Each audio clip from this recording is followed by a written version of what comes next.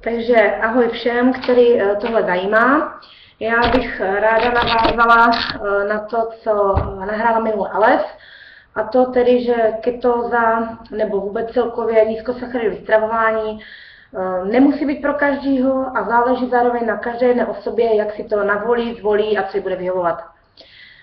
Nízkosacharidové stravování pro člověka, který jedl celoživotně třeba 500 gramů sacharidů a podobně, může být klidně kolem 200 gramů sacharidů. Nemůže takový člověk samozřejmě počítat s ketózou. Ketóza jako stav vzniká až, dejme tomu, při asi 50 gramech sacharidů za den. Mm, lidi, kteří třeba sportují, můžou být i při 80. Já třeba klidně jsou, i když nesportuju. Je to uh, něco jiného samozřejmě. Jo? Nízkosacharidové stravování má určitě svoje výhody, uh, zároveň bych řekla, že i nevýhody. Mě třeba při nevím, 100 gramech sacharidů lítá strašně cukr, mám chutě, hlady, záchvaty, žravosti a podobně. Um, můj cíl momentálně je dostat se do hluboké ketózy, být v ketoadaptaci, um, to znamená, aby krevní ketony uh, byly kolem nevím, třeba uh, 2 milimolár na litr. Pardon což teda teď momentálně ještě nemám, mám 1,3 k dnešnímu rání, ránu.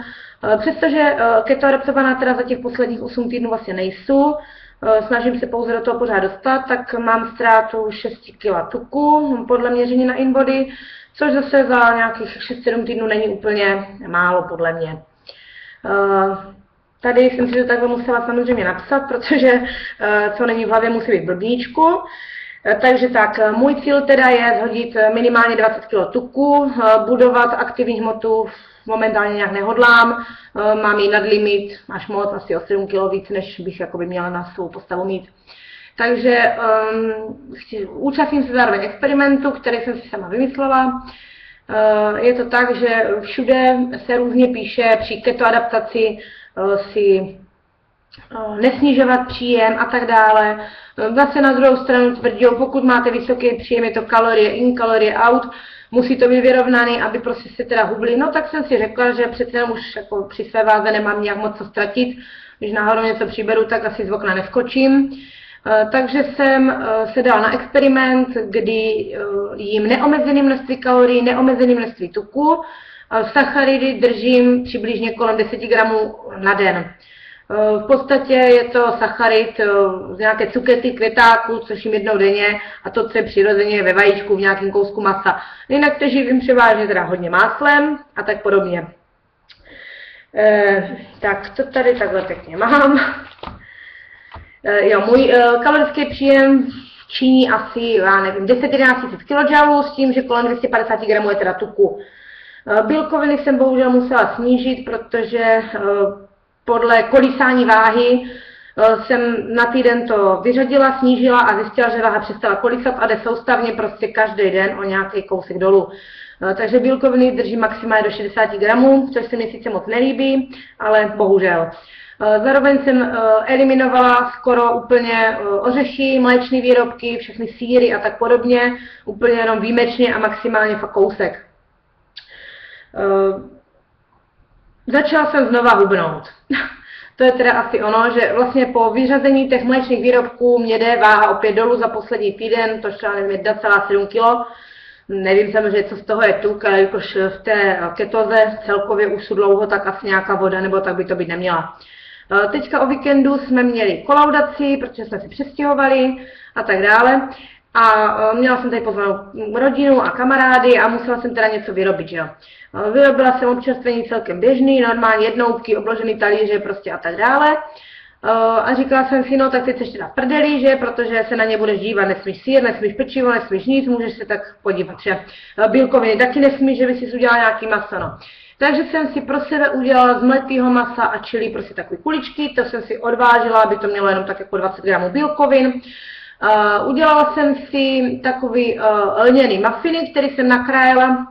K jsem si teda udělala česnekou pomazánku, kde teda byl sír. Uh, taky mě to druhý den váha ukázala. Uh, vypila jsem litr vína. Uh, to byla součást teda domluveného pokusu, že změřím potom vínu druhý den vlastně ketony. Zjistila jsem, že teda, když, si člověk, když se člověk zamyslí a není línej, tak se může najít kdykoliv, kdekoliv, v podstatě skoro cokoliv, nebo vyběre podle mě teda neomezený. a nemusí se tudíž vlastně vyhýbat ani žádným společenským akcím, může mít normální společenský život.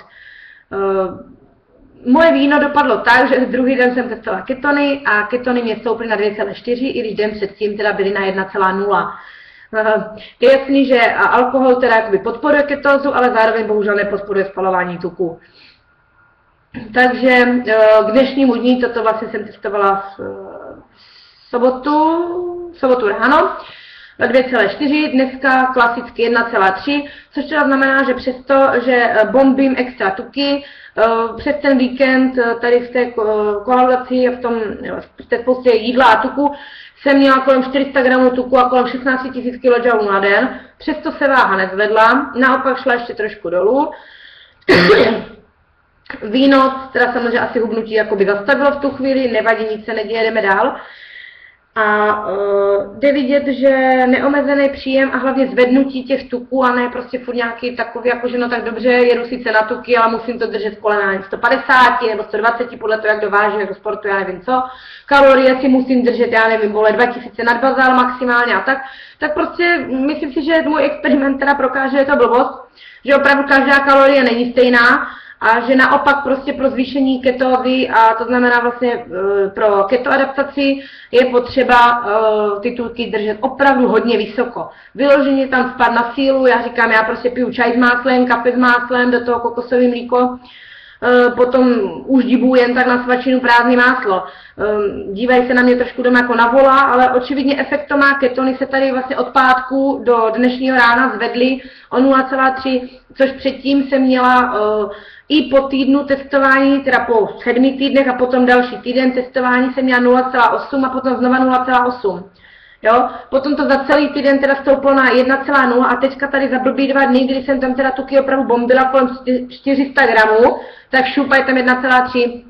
Takže já bych vám radila, pokud chcete opravdu hluboké ketózy, opravdu se adaptovat, tak v podstatě eh, tak, jak byly dřív různé keto diety, že jo, jak vlastně říkal i indukční fáze, třeba Atkinse, Eh, snížit sachary, snížit sachary a opravdu bombit tuky a teda já bych se přimlouvala za to, že uh, nepřehánět to s bílkovinama, opravdu jenom to, co je jakoby nutně potřeba pro tělo, protože podle mých zkušeností teda bílkoviny jsou jakoby špatně, když jich mnoho. Uh, řekla bych teda, že ještě jsem přestala uh, ode dnešního dne pít kafe, nebo budu se snažit, protože uh, jsem si dělala teda ten BP coffee, bylo to super všechno, ale chtěla jsem si to otestovat, jestli teda podle toho, co je všude psaný, tak jestli kafe jako ano nebo ne, vyhazuje z ketózy, nevyhazuje prostě, nebo zvedá cukr, inzulin, bla, bla, bla.